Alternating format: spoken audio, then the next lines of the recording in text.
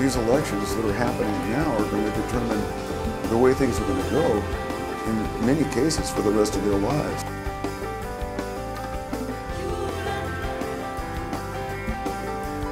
There's something powerful about a lot of people gathering. So let's go register voters at concerts. We want to turn potential energy into kinetic energy. 12,000 people in Florida can swing the direction of the entire world. I believe inherently through being a musician that the group voice is more important than the individual voice.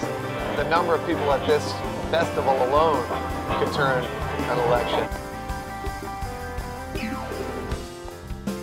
Let's do voter registration. You know, let's go to the concerts and, and let's see who we can get involved. It's unbelievable the way it all came together and people just work on behalf of a dream, of a goal.